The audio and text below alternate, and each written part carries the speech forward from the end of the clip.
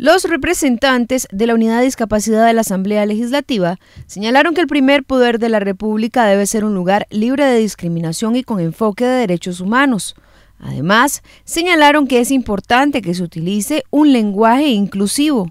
Porque para poder entender la discapacidad, tenemos que pensar en cuándo una persona experimenta eh, desigualdad para poder participar en las actividades cotidianas cuando una persona no tiene autonomía en su vida cotidiana, cuando una persona, por ejemplo, eh, quiere buscar trabajo y tiene que salir de su casa en la mañana, una persona, pensemos usuaria de silla de ruedas, esa persona tiene que enfrentarse a un entorno que le pone miles de barreras.